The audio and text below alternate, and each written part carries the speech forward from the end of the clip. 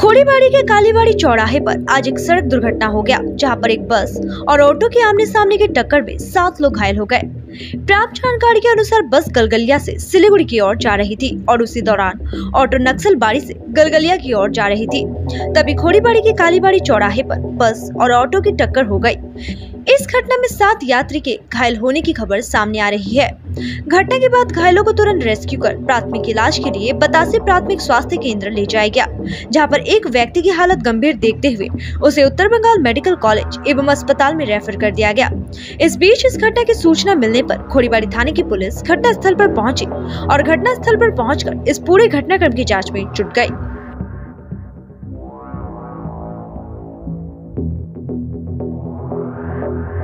হয়েছে এখানে?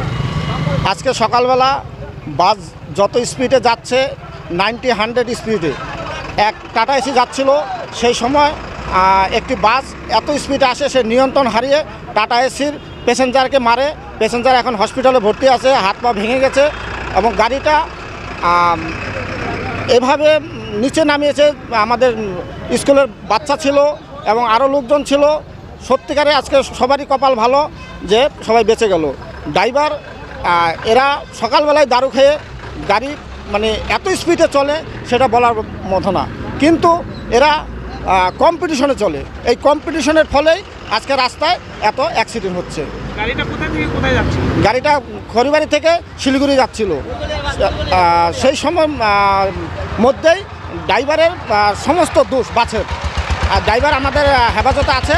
আমরা এখন ড্রাইভারকে পুলিশের হাতে তুলে দেবো। আমরা চা- চাইছি যে এই রাস্তায় গাড়ি যাতে কম্পিটিশনে না চলে স্পিরিট ড্রাইভারদেরকে বলব এরা যেন স্বাভাবিকভাবে চলে। এটাই আমাদের দাবি। প্রশাসনের দাবি এখানে প্রশাসন আসছে। আমরা বললাম যে এইভাবে গাড়ি চলছে আপনারা দেখেন না। এরা বলল যে দেখেন গাড়ির ব্যাপারটা আমরা কি বলব? বিডিওকে লিখিত দেন। বিডিও বাম্পার দিবে। এখন সেখানে ব্যারিকেড দেওয়া হবে। এটাই আমাদের ই হলো ব্যারিকেড দিলে আমরা গাড়ি ছেড়ে দিই আমার নাম অমল মণ্ডল।